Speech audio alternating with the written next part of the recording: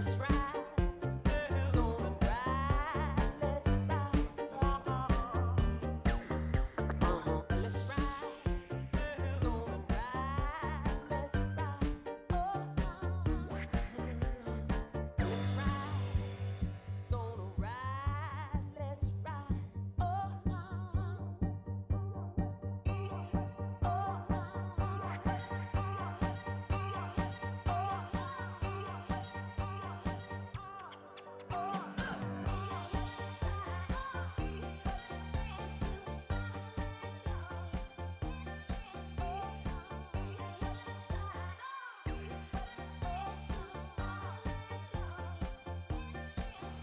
Tak, nazdar lidi, je neděle, týden utek jak voda a jsme zase u další recenze.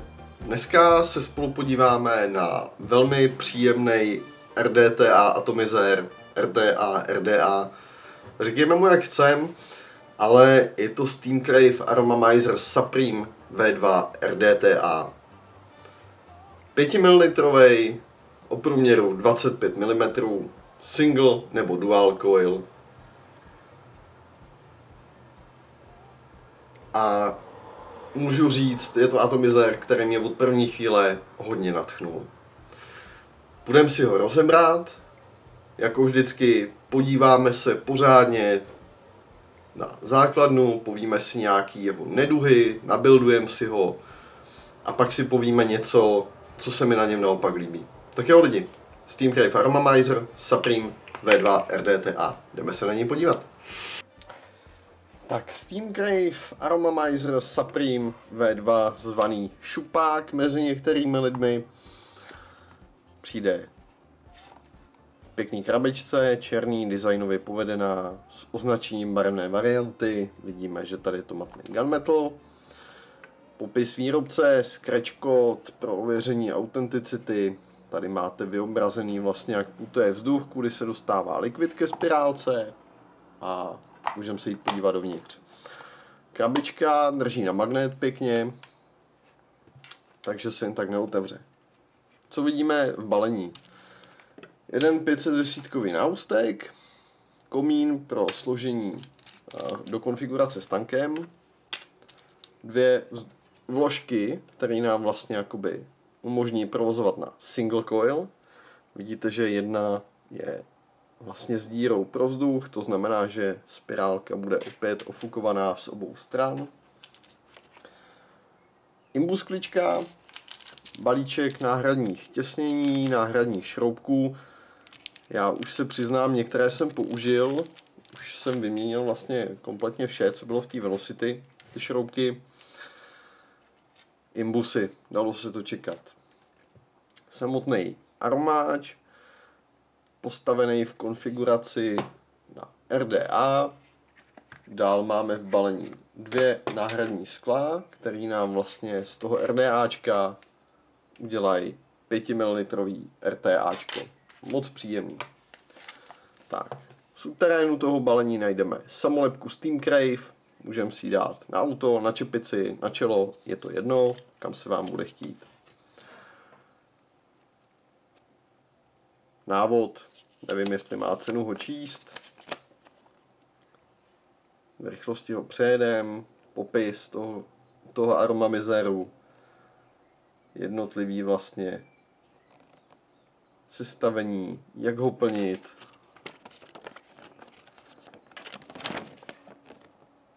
Jak je to vlastně s kapákem. Nějaký návrhy, na co si máme dávat pozor. A pojď vše. Tak, já si složím to balení zase zpátky, nechám si venku jenom věci, které budu potřebovat. Nebude jich moc, což je pozitivní. Tak. Zaklapnu můžu hodit bokem. Tak, podíváme se na aromáč jako takovej. 510 náustek. Top cap, který nám uzavírá plnící otvory, protože tenhle aromáč je plněný vrchem. Tak a už se dostáváme k samotný základně. Tady máme vlastně ovladač přívodu likvidu. s krásně vyznačeným stavem otevřeno-zavřeno. A tady samotná základna. Je to ty velocity, ty otvory pro spirálky, pro ty nožky jsou poměrně dost velký. Otvory pro přísun likvidu taktéž. Tak, tady už vidíme vlastně přívod vzduchu, jeden, druhý, hodně široce nastavitelný, tak se mi to líbí, tak to mám rád. A my si teď půjdeme složit vlastně tu konfiguraci s tím 5 ml tankem. Což pro nás znamená, že musíme našrobovat komín, nasadit sklo, musíme si dávat bacha, aby jsme si ho nedali křivě. No a celý nám to vlastně dotahuje ten vrchní díl. Opět zkontrolovat, jestli sklo sejí, jak má a dotáhnout. Opět, nedotahovat na krev. Jakmile to člověk dotáhne na krev, hrozí, že serve závity, že se mu zakousnou závity, že praskne sklo. To prostě člověk nechce udělat. Tak, tady máme vložku, která slouží k vlastně jednospirálkovému provozu. Přijde zasadit do základny, kam nakonec buildujeme spirálky. Ta vložka je keramická, to jsou obě dvě, a já jí musím vytknout jednu věc, že ta vložka nesedí na místě tak, jak má. Jo, je to hrubá keramika, možná je to špatně nabroušený, nevím, nesedí mi tam ani tahle, ani ta druhá, co je v balení. Což mi nevadí. Jo, je to takový trošku mínus, ale stejně armáč provozuju v duálu, kde se mi zdá nejlepší, takže ty vložky de facto ani nepotřebuju. Ale mohly by sedět, to je pravda. Tak. Základná velocity, jednoduchá na osazení, samotná pasuje do 510 a my si ji teď půjdeme nabuildovat. Já tady mám opět fuzet klepny od svého vrchního dvorního dráteníka Stifa. Asi nech představovat. Tak. Uvolíme šroubky. Tak, s utahováním opatrně, jsou to imbus červíci, snadno se to strhne. A pak můžete měnit. A měnit a měnit. Byl bych tady radši za jiný druh šroubků, ale co už. Tak. Osadíme spirálkama. Jedna nožka spirálky dolů, druhá nahoru a stačí už jenom dotáhnout.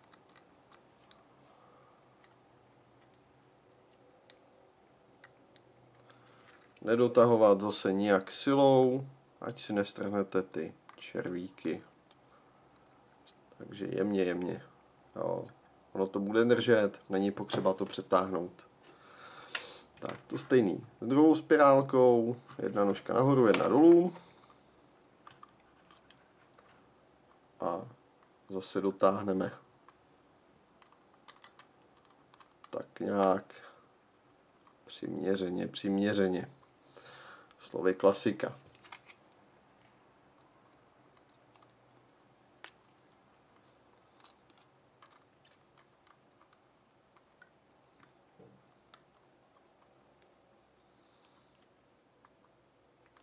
Co bychom měli. Spirálky si porovnáme. Ať jsou hezky vyskředěný, ať se nám nikde ničeho nemají šanci dotknout. Tak. A plus minus prostředek výšky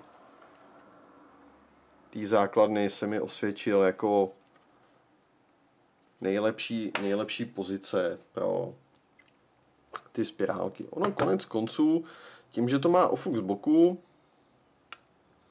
tak musíme počítat s tím, jak tam ty spirálky budeme mít vysoko.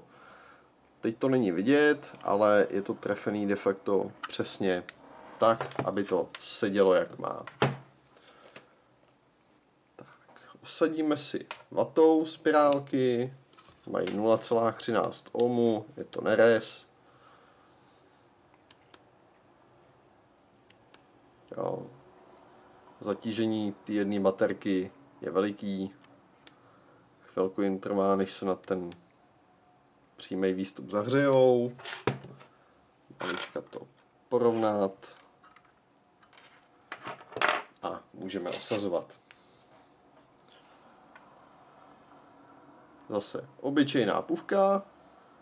Proč ne? Nejlepší poměrce na výkon.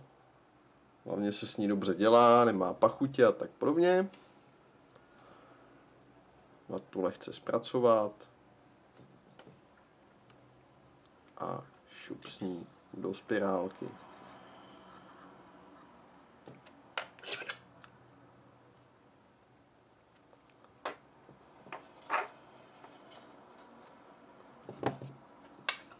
No, Schřihneme si další proužek.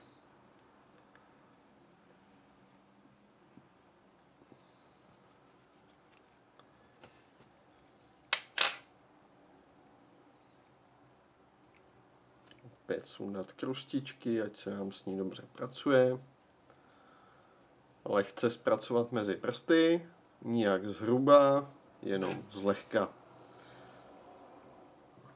Na jednom konci špičku a je to. Usadit ve spirálce a zaskřihnout. Tak, a tady je důležitá jedna věc. Ty vaty nesmí být ani moc, ani málo, známe to. Takže já si ještě malička to seskřihnu.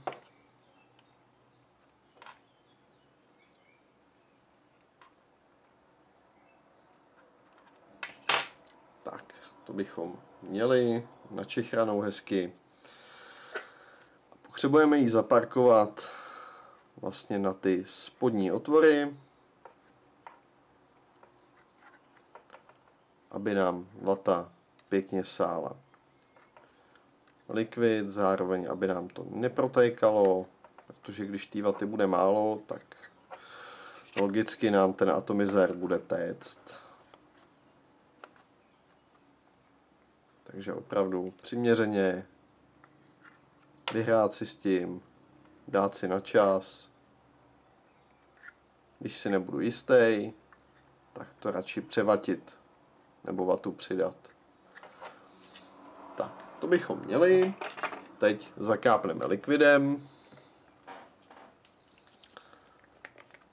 Stačí opravdu jenom zakápnout. Já tady mám Sherry Pie od Solbarom. No a prostě a jednoduše ten likvid naleju do prostřed té velocity mezi spirálky. Ona už si to ta vata nějakým způsobem pojme.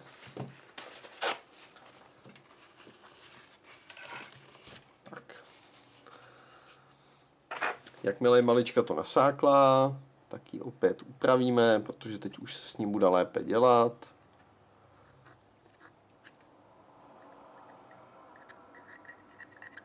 Tak, co je důležité, aby ten prostor pod tou spirálkou zůstával volný.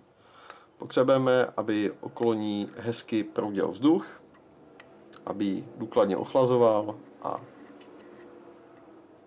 tudíž nám zajistil pořád to nejlepší možné podání chuti. Protože pokud se ta spirálka bude někde přežavovat nebo naopak nedožhavovat, nebo se správně chladit a tak podobně, tak to nebude ono.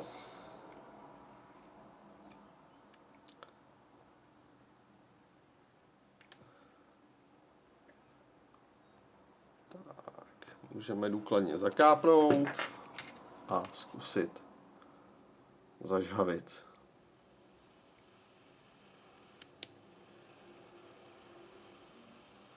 No, to by šlo. Tak, necháme malička to schladnout. A, a můžeme de facto, když se podíváte, ještě jenom taková malá věc, vidíte tady dva výstupky, jeden, druhý a stejně máte protikusy na tom tanku.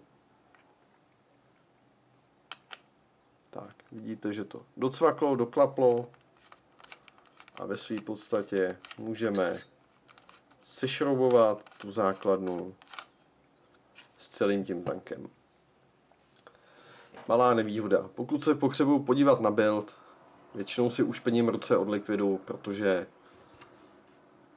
ten spodní díl mi vlastně zůstane v ruce bez té základny. Jo. Není to vada, je to vlastnost toho aromáče. Takhle to prostě funguje.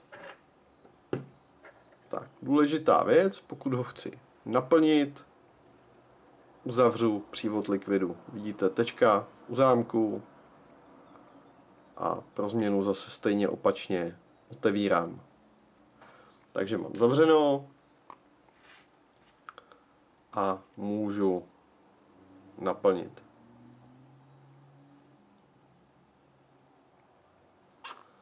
Tak, neplním zbytečně moc, budu si chtít dát potom třeba jinou příchuť, tak to nebudu přelívat.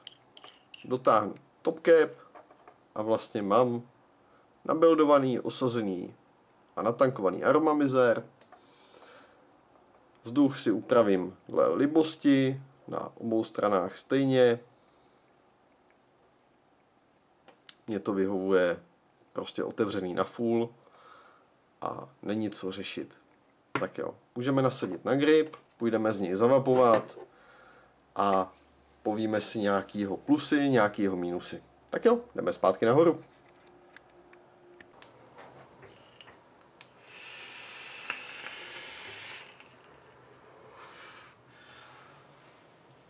Takže nabildováno jest, aromamizer je osazený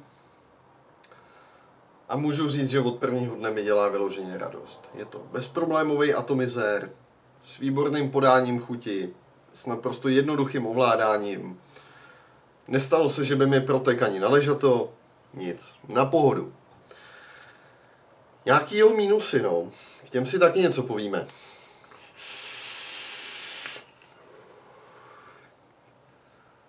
Minus číslo jedna. Šroubky. Uh, bohužel Steam Crave se tady vydal cestou imbusových červíků, který nejsou úplně ideální. Kdyby dali plochý šroubky, byl bych daleko, daleko raději. Ty imbusy se strašně snadno strhnou, pokud jsou takhle malý. Tak to prostě je a nedá se s tím nic dělat. Takže nezbývá než vyměnit za uh, imbus šroubky, co jsou v balení náhradní, po případě si koupit nějaký s plochou hlavou. Další mínus, tyhle vložky. Nenícujou přesně, nepasují tak, jak mají, ani jedna, ani druhá, do různých, mm, do vlastně obou, obou částí v té základně a můžete to prohazovat jak chcete, ale prostě nepasuje. Jo, ono účel to splní, ale není to takový to, že člověk cvakne a drží. A je to tam. Tady, tady je to takový, že pak, když se člověk potřebuje dostat k té základně, tak bohužel mu ta vložka zůstane v té kotelně. Dobrý, to jsem taky ochotný přejít. Ve své podstatě mi ani nevadí to, že když se potřebuji podívat na build, tak nestačí vyšroubovat spodek základny, ale že musím vytáhnout i tu velositku jako takovou. Dobře, přesto se taky přenesu. Jo? Nekontroluju moc často build, pozná to člověk na chuti. Teď něco málo k těm plusům. 5 ml obsah v dual coilu na pohodu. Uzavírání přívodu likvidu, ve své podstatě až jakoby úplný plynulý nastavení, super. Široký nastavení, airflow, bomba. Vrchní plnění, co víc si přát. 510 námůstek, za mě super. Někdo by uvítal 810, ale já 510 kvituju s povděkem, protože 510 je prostě pro mě nějakým způsobem lepší. Co se týče designu, všechno lícuje, všechno pasuje, jak má. Já jsem spokojený. Nastavení Airflow jde malička to stuhá, což mě vůbec nevadí, aspoň se mi to netočí v kapse jak káča.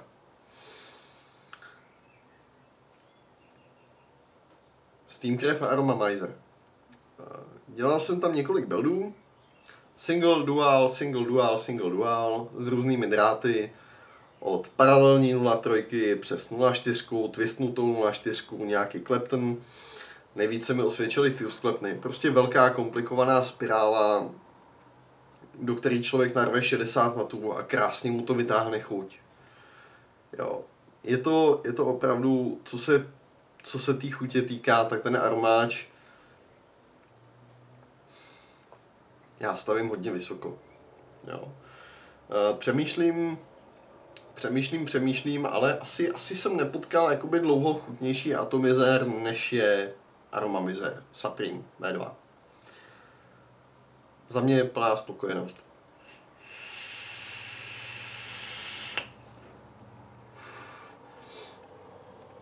Co se vzduchu týká a jeho množství, eh, plně otevřený za mě, za mě dobrý. Ten ofuk těch spirálek je potom takový, jaký má být. A ve své podstatě tak mi to vyhovuje. Nemám potřebu na něm cokoliv měnit. A za mě spokojenost. Tak jo lidi, asi už bych se jenom opakoval.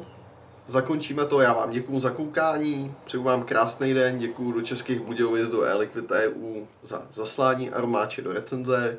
Pánové, díky moc. No a já se budu těšit za týden u dalšího videa a podíváme se spolu na Aspire NX 75. Tak jo, mějte se pěkně, užívejte sluníčka. Čau.